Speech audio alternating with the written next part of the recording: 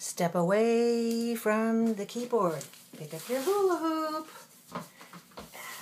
Exercise, exercise. Keep yourself fit and wise. Move those fingers, move those hips. Stretch your back and neck and lips.